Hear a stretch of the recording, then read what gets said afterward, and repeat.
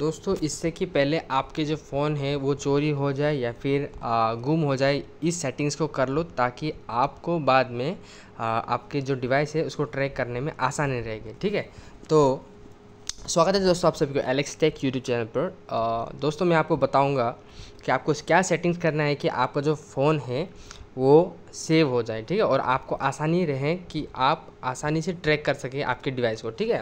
तो आपको क्या करना है दोस्तों, देखिए, अभी क्या हो रहा है कि जितने भी हम ट्रैवल करते हैं ट्रेन पर तो क्या होता है कि यहाँ पे बहुत सारे चोर हैं जो कि मोबाइल छीन के भागते हैं मोबाइल को चोर कर लेते हैं, ठीक है?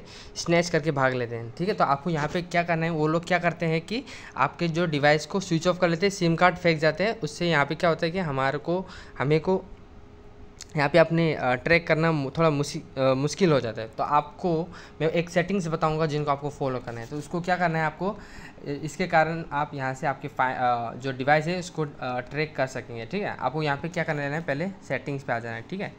सेटिंग्स पे आ जाइए, इसके बाद यहाँ पे आपको गूगल पे आना है, ठीक है?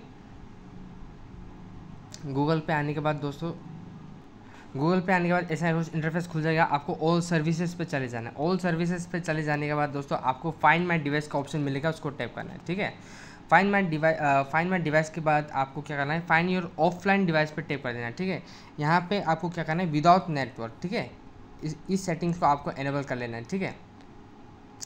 यहाँ पे क्या होगा कि आप जब विदाउट नेटवर्क पर आप यहाँ पे एनेबल करेंगे तो यहाँ पे जो आपका अगर फ़ोन चोरी भी हो जाता है तो जो लास्ट आपका लोकेशन होता है, वो स्टोर होता है और आप आसानी से यहाँ पे आप, आपके जो डिवाइस है उसको ट्रैक कर सकेंगे। तो इस प्रकार आप दोस्तों आपके फ़ोन को चोरी होने से आप फाइंड आउट कर सकते हैं, ठीक है? तो दोस्तों अगर ये वीडियो आपको इन्फॉर्मेटिव लगी, अगर अच्छी लगी तो प्लीज़ चैनल को सपोर्ट करना। मिलते हैं अगले video till then check care bye thank you for watching